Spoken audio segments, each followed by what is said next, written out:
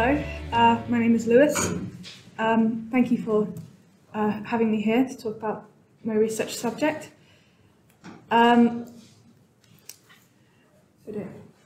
everything's shuffled down a bit, but hopefully it's easily easy to read. Uh, my research mainly focuses on analysing the dimensions and weights of Iron Age textile tools from various sites along the south coast of Britain. And with this, I'm aiming to determine how textile production was organised between not only these different counties, but also uh, between different types of sites and settlements. Um, and if at all possible, um, whether the status of the textile craft itself changed within these areas. Uh, in this talk, I'm just going to present an, a simple overview of the data. Um, so, sorry, I moved a bit forward there. Uh, this map shows the range and locations of the sites and tools included in the study. It's at least five different sites per county with more than five textile tools um, excavated from them. This was so that I could have a suitably large data set um, that could also include the range of different types of sites, so farmsteads, open settlements, uh, regional types like rounds or banjo enclosures, and fortified sites as well.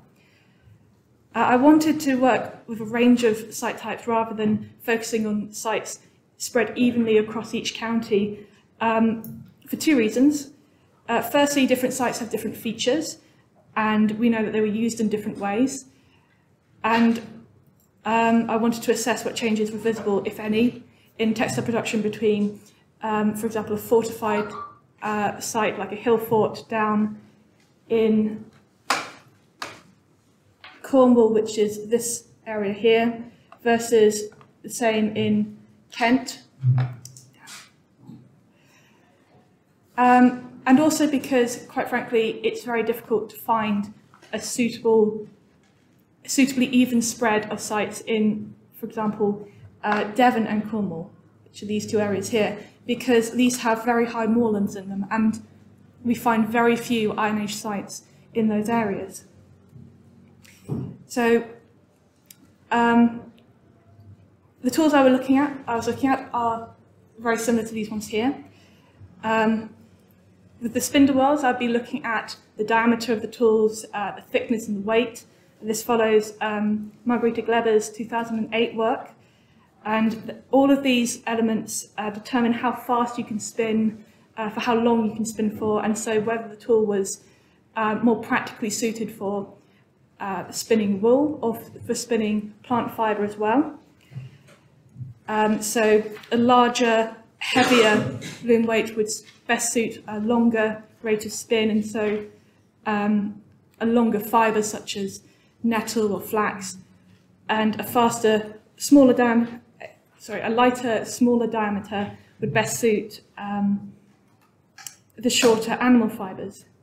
With the loom weights, I use methodology developed by Mårtensson, Andersson Strand, and Nosch at the CCTR. Uh, the weight and the thickness of the tools is most important in this method. Uh, the weight determines how many warp threads can be attached for, uh, per loom weight, and the thickness determines how many loom weights can comfortably fit on a loom without pulling the warp out of shape. It is worth noting as well that um, Cornwall had completely different uh, loom weights. So this is the, the type that we usually found in Cornwall because slate and shale are extremely common in these areas, especially on the coast um, whereas clay is slightly more difficult to reach. So they completely adapted what they were using to best suit the materials that they were finding in the area. Um, I'm also going to point out that even though we got a lot of weaving combs from um, Hampshire and Dorset being chalk, chalkland sites, there's absolutely none of them survived in uh, Devon or Cornwall outside of bog settlements. And those are so rare anyway that it just leaves huge gaps in the data. So I thought, I can't include those. So it's literally just focusing on the spindle whorls and the loom weights. Uh, looking at the distribution, um, the southwest, southwest is always a bit strange in um, in the Iron Age, and even to today, to be honest. And I say that as someone from Devon, so um, we're just a bit odd down there. So this is not exactly. Um, I don't know. I was expecting them to be a bit odd, um, but the first thing that you notice when looking at these is that they, although the loom weights, if you looked at the different types of sites themselves, they encompass several different forms. So fortified, um, for example, uh, number 10 is a hill fort, Blackbury Castle. Number 5 and number 4 in this, uh, number 5 and number 3 are cliff castles down in Cornwall. Um, they also had open sites, enclosed sites, spindle whorls present throughout the region. But what struck me was that the loom weights were, were gathered in certain geographical areas. Um, it suggests that weaving in the southwest was it was more about where they did it rather as in the actual location where they did it rather than the type of site um, that that they focused on. And certainly spinning was a far far more common activity than weaving was. In the so-called central south um, area, so Dorset and Hampshire, um, it's very different. Uh, Dorset, uh, these sites here, Dorset has a very different distribution. Uh, the ratio of weaving tools to spinning tools is actually remarkably similar for most of the settlements, um, suggesting that they made what they were going to use at these settlements. Uh, the one exception is Gussage All Saints, number four here. Um, it had a far larger number of loom weights, and the excavators working on this site uh, suggested that it was a used as a possible um, weaver's workshop because they were found in one specific area of the site itself. Hampshire, this area here, is different again. All of the sites I studied had an overwhelming number of loom weights, except for Kennel's Farm. Uh, we found a couple of weights which we thought were loom weights, and when we did the uh, analysis on it, it turned out uh, to be far too heavy to suit any type of thread that could have been um, reasonably spun. Is it Isle of Wight down there? Uh, yes, the Isle of Wight. So you have. So you were in Cornwall and now you go east. Yeah, and now I'm, I'm moving east. So you've got Dorset here, the Isle of Wight, and Hampshire moving up here.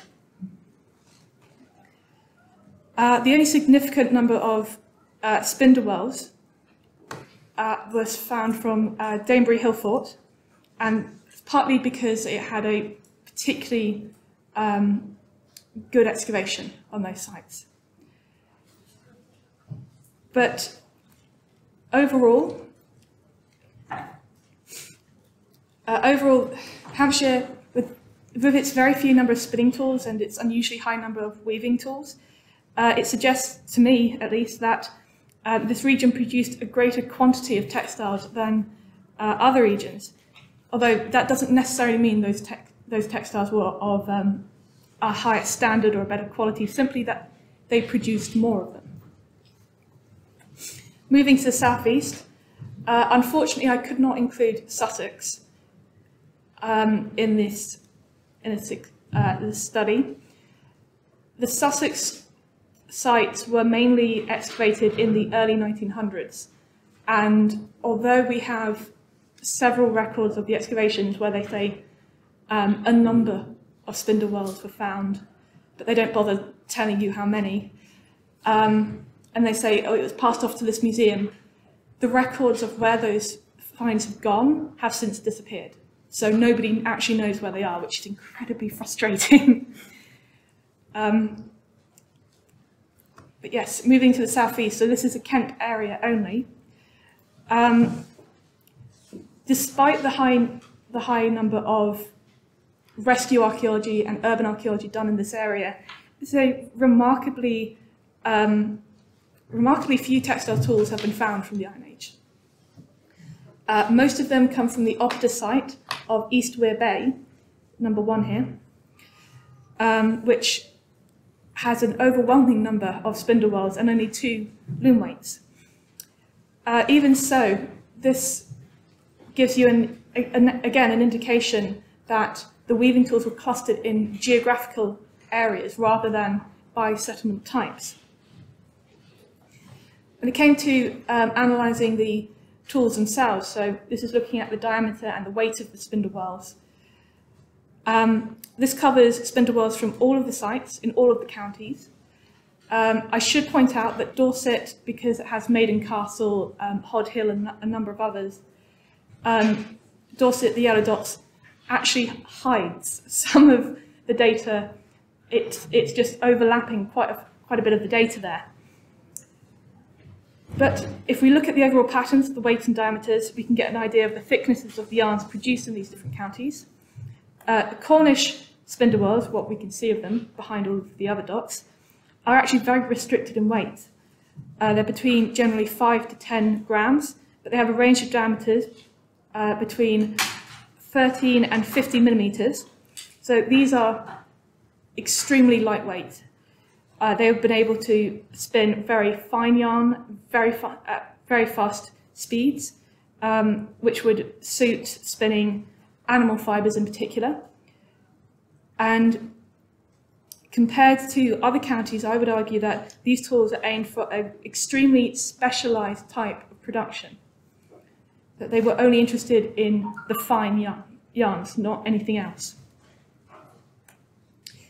Moving on to Devon, uh, these are slightly heavier. They range between, on average, 15 to 42 grams, with a smaller range of diameters um, between 25 and 48 millimeters. So this produces a range of yarns from fine to very thick, at fast to relatively average speeds. So they're su suited to work with a range of animal and plant fibres and could then be used to weave a variety of textiles. Uh, we see a similar pattern in the Dorset sites, although it's far more spread out. Uh, these range between the weights of 5 to 55 grams and millimetres of 26 to, to 57 millimetres. Um, Hampshire sites are rather hidden behind the Dorset sites.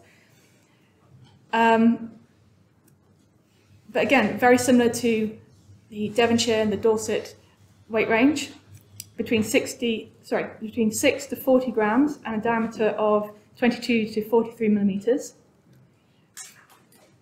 And the Kent spindle whorls, far more restricted than those from the central south region, which is Dorset and Hampshire, weights between 6 to 33 grams and millimeters between 25 to 40, sorry, diameters between 25 to 45 milliliters, millimeters. So they're still able to produce thick yarns, but not nearly to the extent that the central south counties uh, were aiming to produce. when we move on to the loom weights, we see a far greater differentiation between um, the counties. First of all, there's Cornwall doing its own little thing. Um, but when you compare the measurements from the loom weights to the spindle whorls, then you see they're actually extremely well suited for weaving with what they were producing at these sites. Uh, in general, the weights range from between 5 to 400 grams.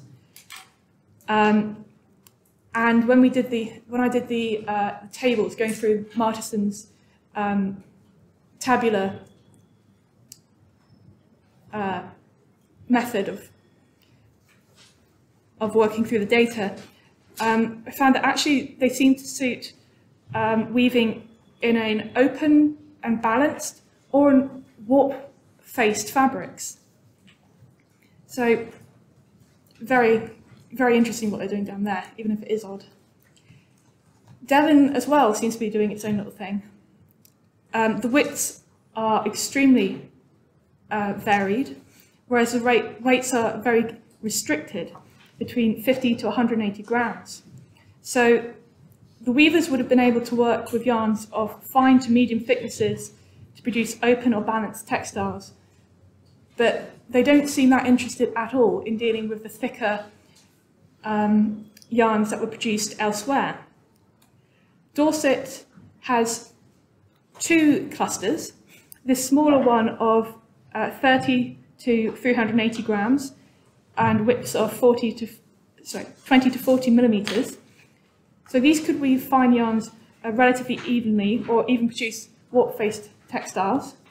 And then you have the far larger spread of between 650 and uh, 2 kilos and 80 grams and 40 to 100 millimeters.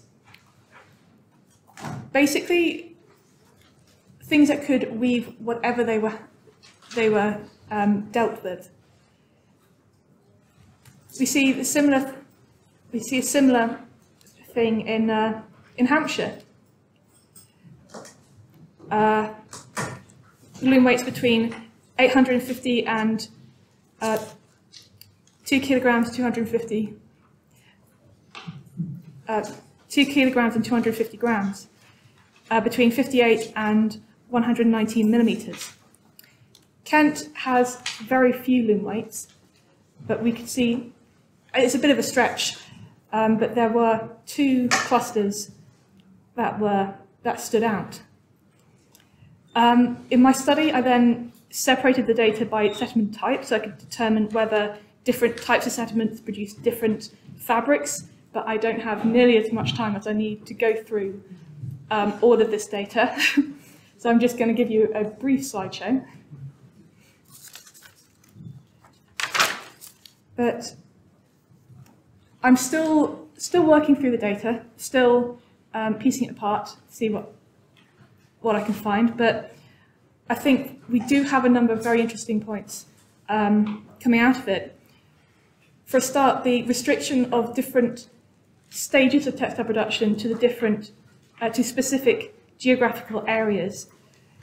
Um, either, so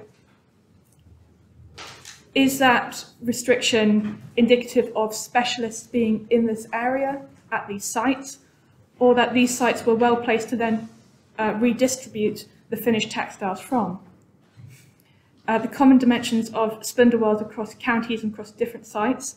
Um, these help demonstrate a particularly uh, desirable type of tool or um, product they're producing, so type of yarn for weaving, um, which in turn will highlight sites with completely different tool dimensions, such as the whole of Cornwall.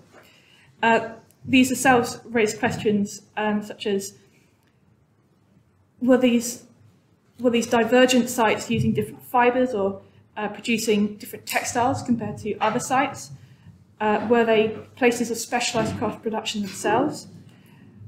Um, or did that variation, is that variation simply because they were in a completely different um, time period, for example, um, they're an earlier site, whereas the other ones are far later. And I think we, we're also beginning to, um, we're also able to comment on um, the possible fibres being used and the yarns being produced, the choices made by craftspeople regarding what tools they want in certain areas, and the possible differences in the weaving traditions or needs, such as the difference between Hampshire's abundance of uh, spindle whorls, weights and sizes, and loom weights, weights and sizes, compared to Devon and Cornwall's very restricted dimensions. Yes, uh, thank you.